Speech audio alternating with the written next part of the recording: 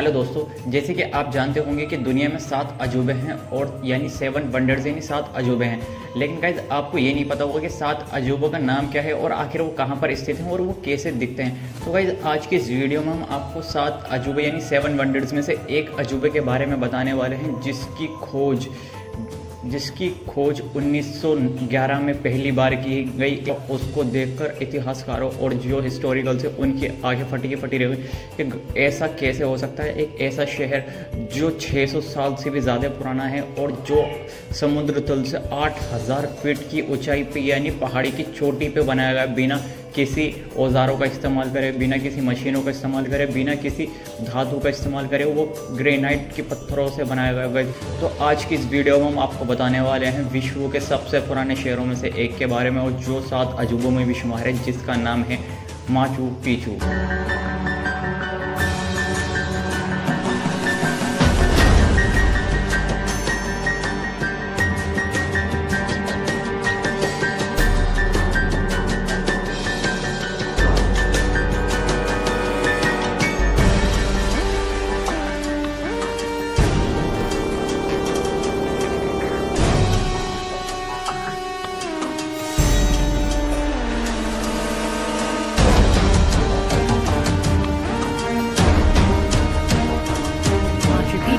Been seeing a different spectacle in recent days.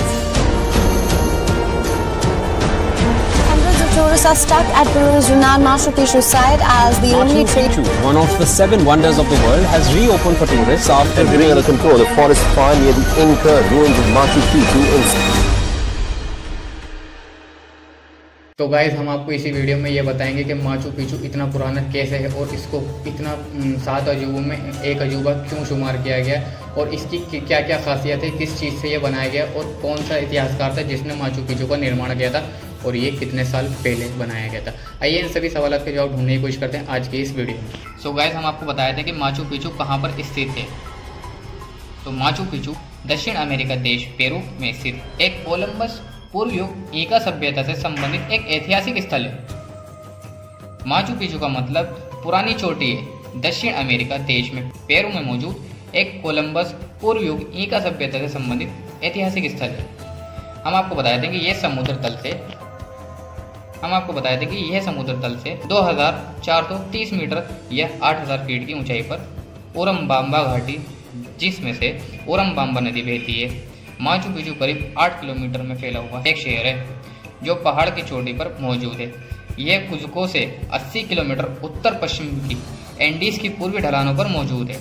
Guys हम आपको बता दें कि माचू पिचू की खोज किसने करी थी?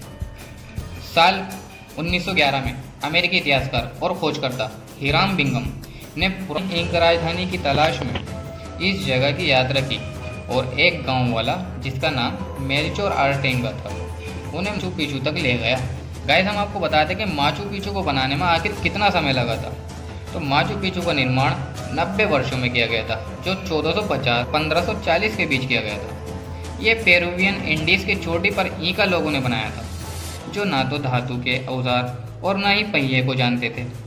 इमारतों को बिल्कुल अलग अलग आकार की दीवारें दी गई थी, जिनमें से हर एक ग्रेनाइट पत्थरों से बनी थी, जिन्हें प्रॉपर तरीके से बनाया गया था।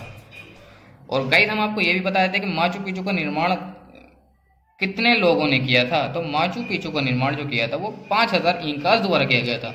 ऐसा लगता है कि यह शहर साम्राज्य के लिए एक शहरी केंद्र होने के साथ साथ साम्राज्य के लिए महल नुमा संपत्ति भी रहा है रिसर्चर और इतिहासकारों का मानना है कि शहर में 300 से 1000 लोगों का कब्जा था।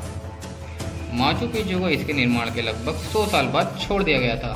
हम आपको ये चीज़ और बताए देंगे इसके माचू पिचू की क्या खासियत थी? माचू पिचू दुनिया के सबसे इम्पोर्टेंट हिस्टोरिकल स्थलों में से एक माना जाता है।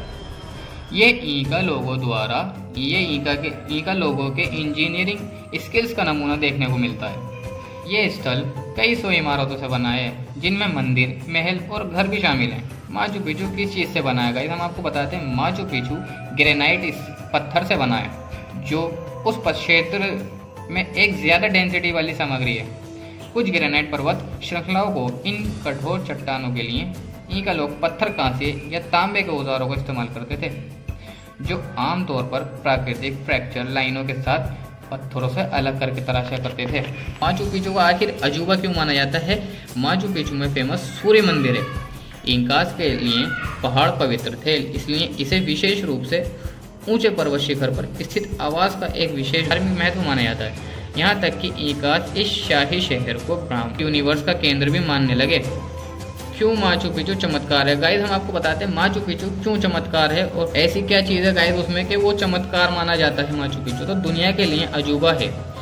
माचू पिचू ये दुनिया के लिए आश्चर्य इसलिए है क्योंकि शहर में जाने के लिए कम से कम तीन हज़ार पत्थर की सीढ़ियाँ बनी हुई हैं। सबसे दिलचस्प की, सबसे दिलचस्प यह पूरा शहर धातु के औजारों और पहिए के बिना बनाया गया था। निर्माताओं के शहर के लिए सिर्फ़ एक प्रवेश द्वार बनाया गया था, ताकि आक्रमण के वक्त इसकी सुरक्षा करना आसान हो। लोगों के पास पत्थर काटने की एडवांस टेक्नोलॉजी थी। गाइस हम आपको बताते हैं माचू पिचू में कितने लोग रहते थे। कुछ इतिहासकारों का मानना है कि माचू पिचू में 200 से ज़्यादा घर बने हुए थे, जिसे 1450 ईस्वी के आसपास बनाया गया था। वास्तव में लोगों के अनुसार ये शहर छोटा था और इसमें केवल 500 से 750 लोग ही रह सकते थे या फिर रहते थे। माजू पिचू को विश्व धरोहर कब घोषित किया था यानी कि हिस्टोरिकल प्लेस कब घोषित किया गया था? माजू पिचू को उन्नीस सौ तिरासी में यूनेस्को द्वारा विश्व धरोहर स्थल नामित किया गया था। यानी उसको नाम दिया गया था।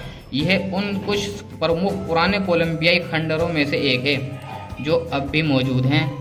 और सात जुलाई दो हज़ार सात को माचू पिचू विश्व के सात अजूब में शुमार कर लिया गया। गाइज़ माचू पिचू में आज कौन रहता है? हम आपको ये बताते हैं। माचू पिचू में आज कोई नहीं रहता है। ये विश्व के सात अजूबों में से एक है, जहाँ प्रतिदिन ढाई हज़ार से ज़्यादा लोग जो दिसंबर 2023 में बढ़ाकर पाँच सौ कर दिए गए हैं। हाल के गाइस 1.5 मिलियन से ज़्यादा लोग माचू पिचू देखने चाहते हैं। माचू पिचू का टिकट पैंतीस प्रति व्यक्ति का है। फाइनली गाइस हम आपको ये बताए थे, माचू पिचू कब खत्म हुआ था। आपको ये बताया था कि माचू पिचू में दो शासकों का शासनकाल चला था, जिसमें से एक थे पंचकुटे का युपावी, जिनका शासनकाल था चौदह से चौदह के बीच, और दूसरे थे इंका युपविकी यानी टुपेक इंका युपविकी जिनका काल चला था चौदह से चौदह माचू पिचू का नष्ट होने का समय 1550 के बीच माना जाता है, जब माचू पिचू को पूरी तरीके से खाली छोड़ दिया गया था।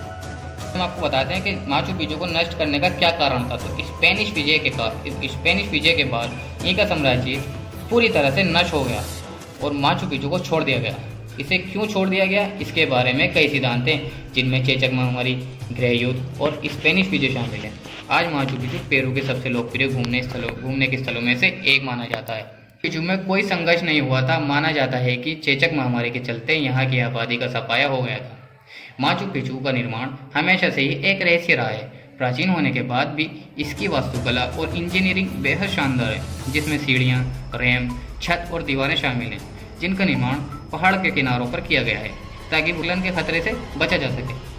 जैसे कि आपने देख लिया, हमने आपको बता दिया पूरा माचू पीछू के बारे में कि आखिर माचू पीछू को किसने बनाया, यानी इंकाज लोगों ने बनाया, कब बनाया और कितने साल तक वो चला और कैसे उसका अंत हुआ, यानी कितने साल में वहाँ पे कितने लोग रहते थे, किस तरीके से वहाँ पे पाँच हज़ार लोगों ने नब्बे साल के टाइम पीरियड में एक ऐसे शहर का निर्माण करा जो विश्व के साथ अजूब में शुमार कर लिया गया।